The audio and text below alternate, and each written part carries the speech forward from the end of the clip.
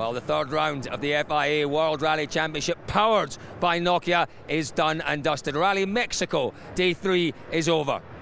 Does that make it sound as if we've had a dull day here? Let me tell you, we have not had a dull day. One of the most dramatic days, Jules. The start of the day, we had Sebastian Loeb, Mikko Hirvonen comfortably in first and second place. Behind them, Jari-Matti Latvala of Ford and Petter Solberg of Ford. Latvala, though, Jules, he's had a biggie out there today. That's it in the big stage. The 54K had a massive roll.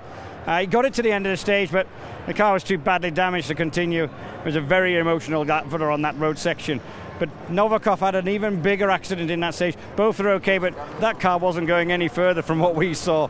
There was all sorts of other dramas. Block had two punctures. Mads Ostberg had a puncture. Chris Atkinson didn't make it through. 54Ks on a Sunday. I have to say, I thought it's what we really wanted, to be honest, because there was a big sting in the tail. An absolutely huge sting in the tail in Rally Mexico here.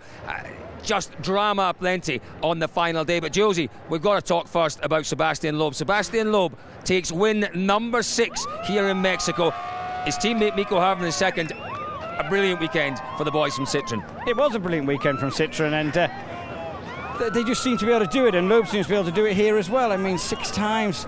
Jari, uh, sorry, Mikko saying yesterday at one point when I asked if it had kind of been told to hold station, he goes, even if I wasn't, I can't catch him. He's so quick.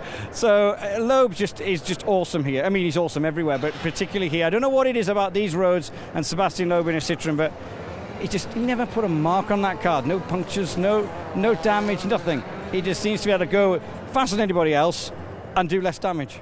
So the Citroens are 1 2. Petter Solberg in third place. One of the best starts to a season he has had in many, many years. Two podiums, two third places, and a fourth place already this year for Petter Solberg. Great stuff from him. Further down the leaderboard, Mads Ostberg finishes fourth. Ott Tanak, his best ever finish in the World Championship in fifth place. Just behind him, Nasser Al his best ever finish in the World Rally Championship. And then Armindo Araujo, seventh place, his best ever finish in the World Rally Championship. Best ever finishes, isn't there? There are a lot of happy boys out there this evening, but there are one or two very sore and very sad boys, in particular Jari-Matti Latvala and Evgeny Novikov. But Jules, it has been a great, great event here in Mexico. There have been one or two issues, but as always, a great atmosphere and wonderful competition. It's a brilliant event, it really is. It's saying of our first gravel rally of the year. We have it's the same place in the calendar every year.